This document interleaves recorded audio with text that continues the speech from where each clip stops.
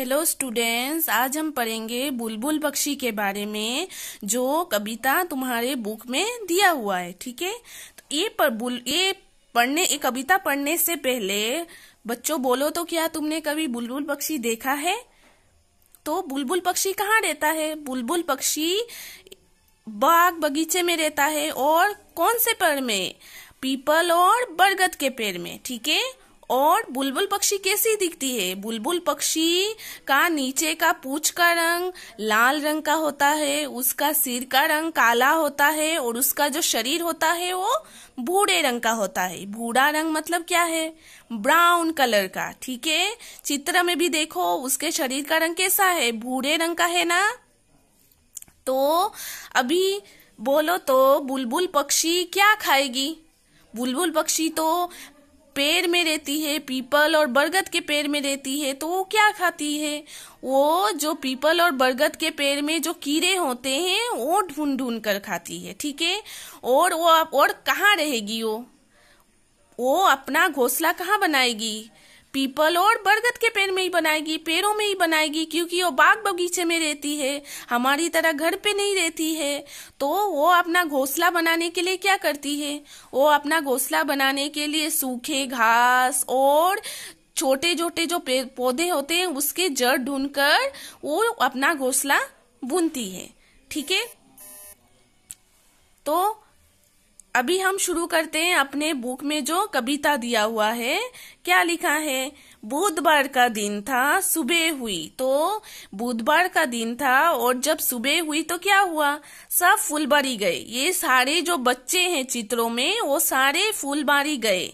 ठीक है, फुलबारी मतलब क्या? बाग बगीचा ही, जहाँ फूल होते हैं जहाँ फल होते हैं, जहाँ हर तरह का फल और फूल उगता है। ठीक है तो वहाँ क्या हो रहा था? बुलबुल डाल पर चहक रही थी। तो जो बुलबुल पक्षी है ना, वो बहुत तेज बोलती है, ठीक है? बहुत तेज बोलती है, बहुत फटाफट बोलती है।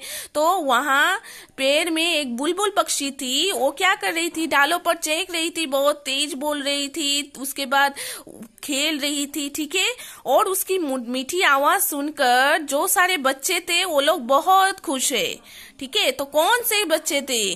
कितने सारे बच्चे थे, देखो। अतुल, कुसुम, राहुल, अरुणा, सुनील, सुमन, सुरजीत और कुमोद, ये सारे बच्चे बुलबुल बख्शी को देखकर बहुत खुश हो रहे थे। देखो चित्र में, वो सारे बच्चे कितने हंस रहे हैं तो वो सारे बच्चे बुलबुल बख्शी को देखकर बहुत खुश हो रहे हैं।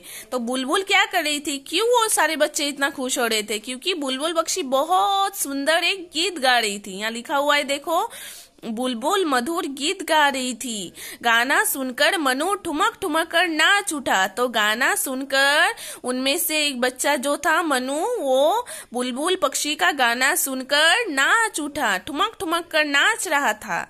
वाह वाह, इतना मधुर गीत। और सारे बच्चे क्या बोल रहे थे? वाह वाह, ये पक्षी तो कितना सुंदर गाना गा रही है।